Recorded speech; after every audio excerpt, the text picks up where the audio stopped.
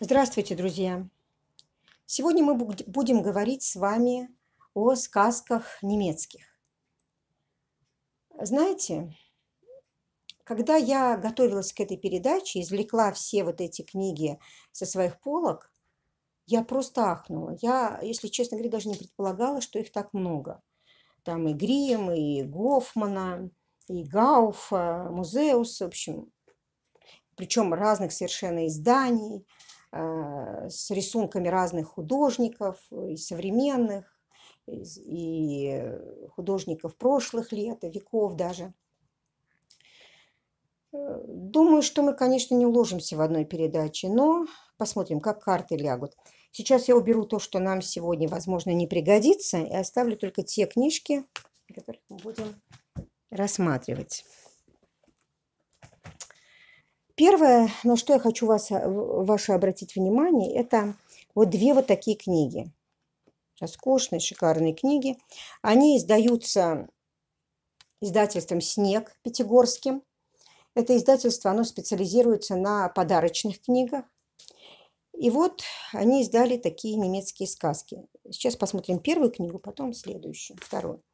Первая книга – это вот сказки собранные братьями Гримами, вот так написано.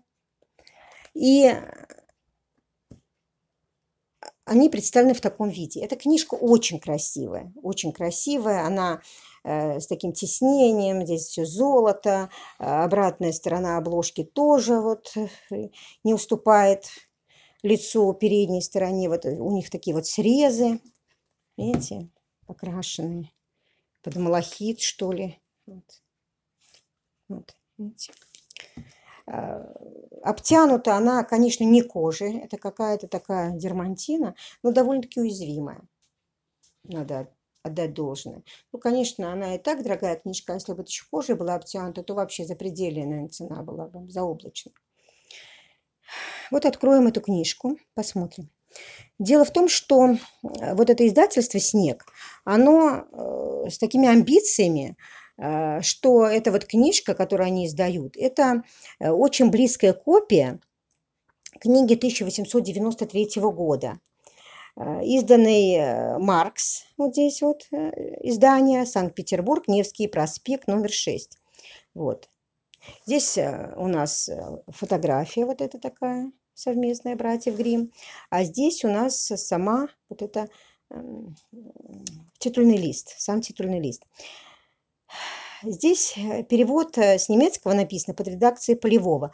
Но Полевой он сам очень много переводил, и, скорее всего, здесь и сказки с его переводами, и, может, его учеников, там, последователей и так далее. Ну, в общем-то, серьезный переводчик, серьезные переводы.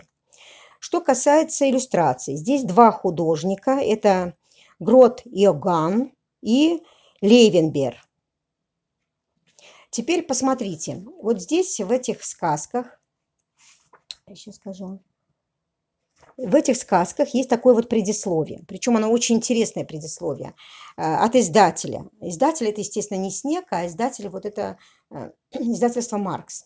Они здесь объясняют, во-первых, э, о необходимости создания такой книги, такого издания. Они говорят, что это конец XIX века, о том, что братья, сказки братьев Грим настолько распространены уже в России, что возникла необходимость вот собрать их всех воедино и э, представить в одной книге.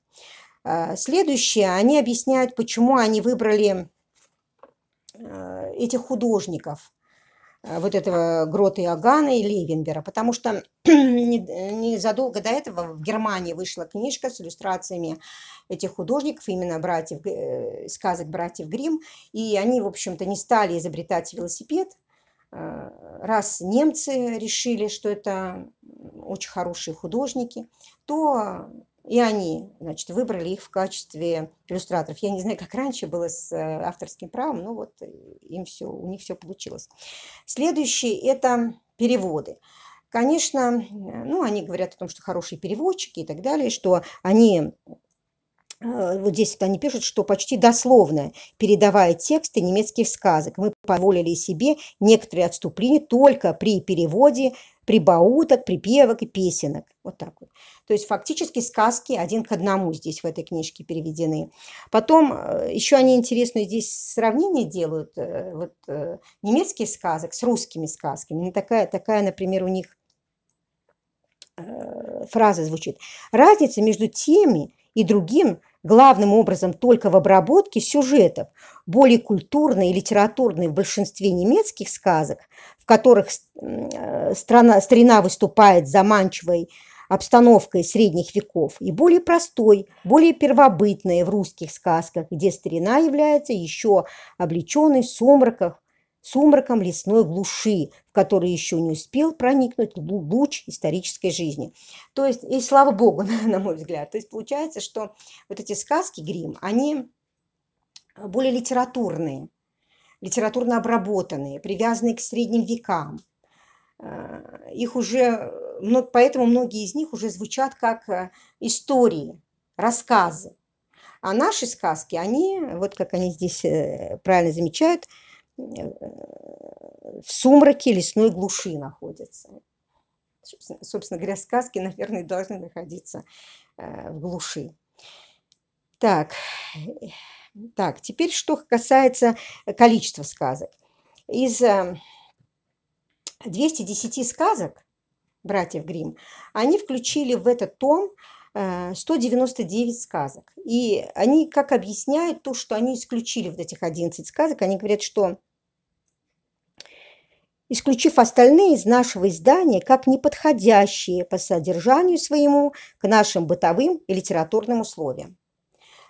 Таким образом, вот этот том, он очень хороший, с моей точки зрения, и э, переводы здесь прекрасные, и сказки подобранные как надо, в общем, иллюстрации замечательные. Ну, теперь посмотрим, посмотрим. Теперь мы его пролистаем, этот томик. Посмотрим, что нам здесь изобразили. Потому что рассказывать эти сказки нет э, смысла. Их многие мы их знаем, другие можем прочитать сами. Но вот полистать эту книгу, думаю, не мешает. Потому что, э, конечно, э, она дорогая книга. Покупать ее так для того, чтобы читать каждый день детям на ночь, наверное, не стоит. Для этого есть более дешевые издания. Но в качестве подарка, это, наверное, она очень подходит. А вот посмотрите, красная шапочка, да, вот это немецкая сказка. Мы привыкли, что красная шапочка это у нас э, перо, французская сказка, да. Ну вот э, французы, немцы, они жили очень близко друг к другу, и сказки у них были практически одинаковые. Там еще и «Спящая красавица», по-моему, одинаковая сказка, «Мальчик с пальчик», и у Перо есть, и вот у Гримов брать.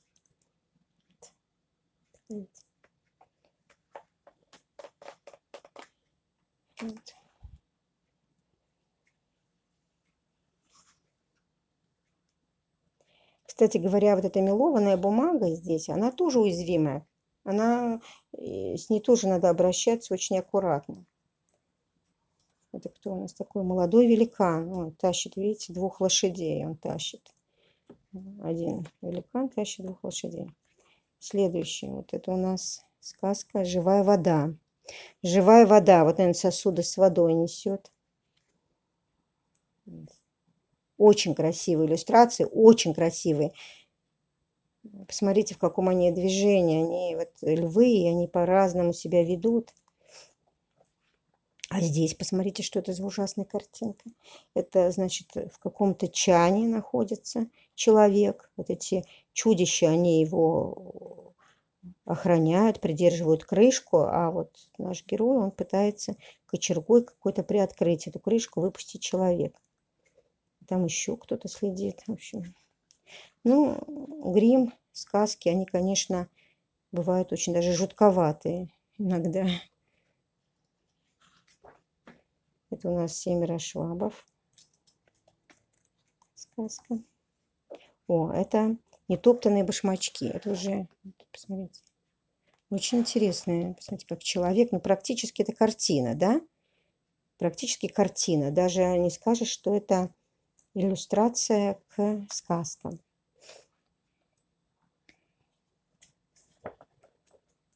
Тут у нас стеклянный гроб.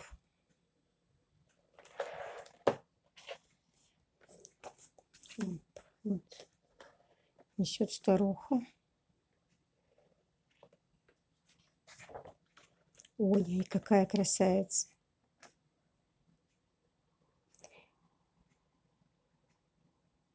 Гусеница у колодца. Называется сказка.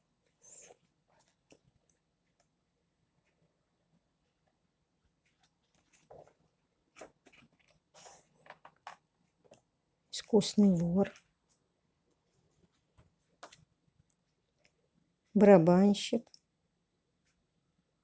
Какую-то ведьму, что ли, у нее стукнул. Я, конечно, не все сказки читала, это уж точно, но ряд сказок мне известно. Так, вот так. так. Ну, это вот эта книжка, которую я хотела вам показать, первую.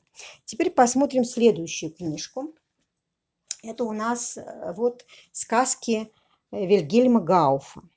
Теперь эта книжка тоже с такими же амбициями, что она выпущена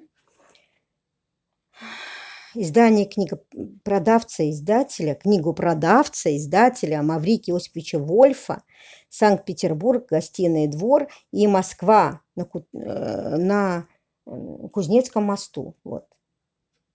Дом Рудакова. Вот, пожалуйста. Это перевод с немецкого, здесь написано, но это Песковский перевод. Песковская – это известная переводчица, очень серьезная. И, по-моему, в издании «Вольф» в конце 19 был издан барон Мюнхгаузен с ее переводами с немецкого. Так, посмотрим художники. 42 э, рисунка здесь. Феодор Виберна, Газеман, Людовик Бургер. Так, посмотрим. Это сказки Гауфа, да? Ну, здесь вот перечисляются эти сказки Вильгельма Гауфа. Ну, э, присказка здесь. А присказка там в чем суть? В том, что Э, несколько купцов э, сопровождают караван по пустыне и по пустыне. И они э, встречаются там и с разбойниками всякими. А вот на привале, когда они отдыхают, они решают рас рассказывать какие-то сказки или истории своей жизни. Причем они такие похожи на арабские даже где-то вот сказки, тем, что э, предисловие, преамбула к следующей сказке находится в конце предыдущей. Вот так вот. И сами сказки, они тоже так на восточный манер. Вот. Это какая у нас сказка? Отрезанная рука, по-моему, там. Вот он обманывает вот этого человека, склоняет его к тому, чтобы он отрубил голову девушке. Он, правда, не знает, что она не мертва. Он, якобы он хочет ее забальзамировать. Она уже мертвая и так далее. Выясняется, что она была живая в тот момент, когда он полоснул ее ножом. Ну и все остальное там происходит. Вот так. Истории, конечно, жуткие. И у Гауфа бывают такие тоже жутковатые истории. Вот, страшноватые. Это у нас маленький мог прекрасная сказка, известная нам всем. Это маленький мог.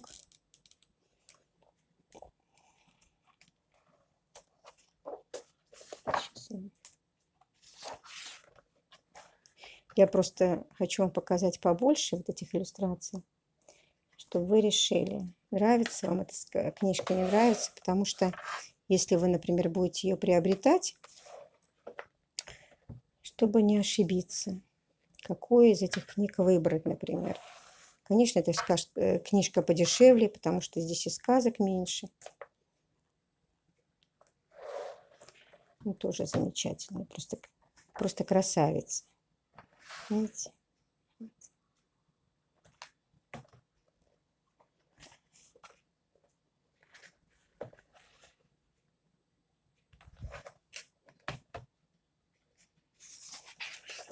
Вот у нас это кто? Этот э, карлик нос, да? Вот. Ну, в общем, вот такая история. Вот такие у нас здесь иллюстрации, книжки такие замечательные выпускает у нас издательство «Снег». Теперь я хочу вам показать еще две книжки. Они были мной приобретены. Сейчас, подождите. Вот так вот. Случайно. Это у нас издательский дом Мещерякова выпускает эти книжки. И когда они их выпускали, они, это, они говорили о том, что это значит для, специально для почитателей э, Антона Пика и те, кто хочет ознакомиться с его творчеством, этого художника голландского. Но вот здесь вот четверо искусственных братьев, братья Грим, это сказки братьев Грим просто. Но э, меловная бумага, конечно, книжки хорошо выполнены, как и все, что издает Мещерякова. Здесь какое-то такое вот напыление интересное на обоих книжках, на обеих книжках. Вот, а теперь посмотрим иллюстрации. Но знаете что? Вот эти почитатели, они были недовольны. Они, знаете, что сказали? Что, во-первых, иллюстраций мало, э, цветных практически нет. По-моему, на две книжки здесь всего лишь пять иллюстраций. Я вам еще немножечко их так вот полистаем. Вот. Ну все, товарищи, вот кажется, мы заканчиваем нашу сегодняшнюю передачу. Всего вам доброго. Переходим на завтра.